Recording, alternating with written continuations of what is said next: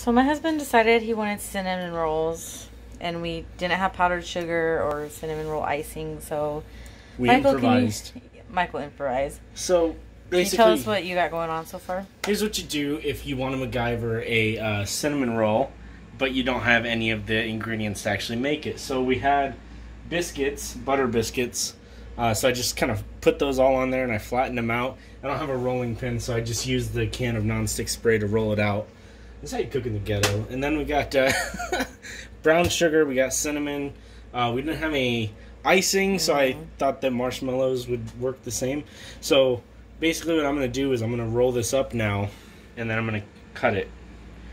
And uh, I think it'll What do you work. mean you're gonna roll it up? How? Oh, just like in one big roll, Yeah, and then cut it. yeah. I think it's actually really smart. Are you gonna put more mushroom, mushrooms, marshmallows on the top of it for like a, like to imitate icing when you're done cooking them, or what? I don't know. Yeah, Is this probably. working? You probably should have sprayed the foil first time. Uh, I did, but it, it wasn't Oh. sprayed enough. When your husband wants to cook, this is crazy. Oh shit, it's coming apart at the seams when your husband wants to cook, and you have ingredients that you haven't used for a while and they need to be used, you let him have at it. Let's Let's see how long it takes him to roll this. This is crazy. Fuck. Alright, let's just go. Fuck, this is hard as shit. Are you sure you sprayed it? Uh, yeah, I kind of remember doing that. Oh my god. Oh, yeah, perfect. Honestly, super easy.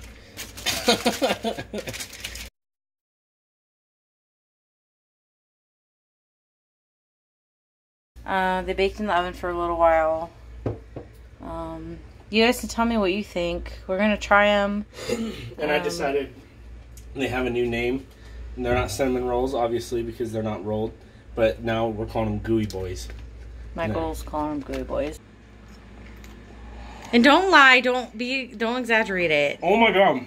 Literally, that's the best thing I've ever eaten. okay, I told you not to be dramatic. Oh, they're pretty good. But anyway, so gooey boys. Our fucking Liddy fam. Okay, that's my video, guys. Hope you enjoyed.